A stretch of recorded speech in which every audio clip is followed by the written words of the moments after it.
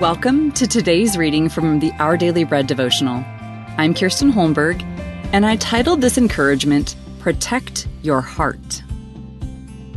Hungarian born mathematician Abraham Wald lent his skills to the World War II efforts after coming to the United States in 1938. The military was looking for ways to protect its aircraft from enemy fire, so Wald and his colleagues at the Statistical Research Group were asked to figure out how to better protect military aircraft to defend against enemy fire. They began by examining returning aircraft to see where they were most damaged.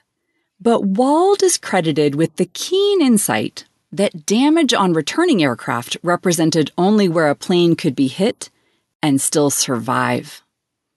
He realized that areas most in need of additional armor would be found on planes that had crashed. Planes hit in the most vulnerable part, the engine, had gone down and therefore couldn't be examined. Solomon teaches us about protecting our most vulnerable part, our heart. In Proverbs 4, he instructs his son to guard his heart because from it, everything else flows.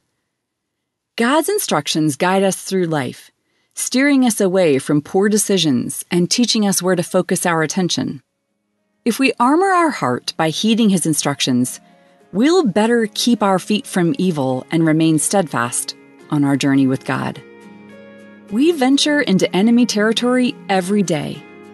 But with God's wisdom guarding our hearts, we can stay focused on our mission to live well for God's glory.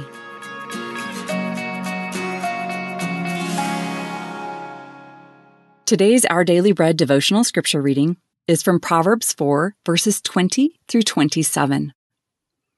My son, pay attention to what I say Turn your ear to my words. Do not let them out of your sight. Keep them within your heart, for they are life to those who find them and health to one's whole body. Above all else, guard your heart, for everything you do flows from it. Keep your mouth free of perversity. Keep corrupt talk far from your lips. Let your eyes look straight ahead.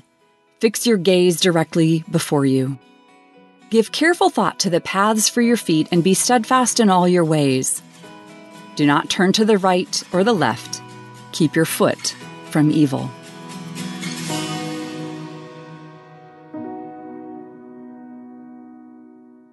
Let's pray.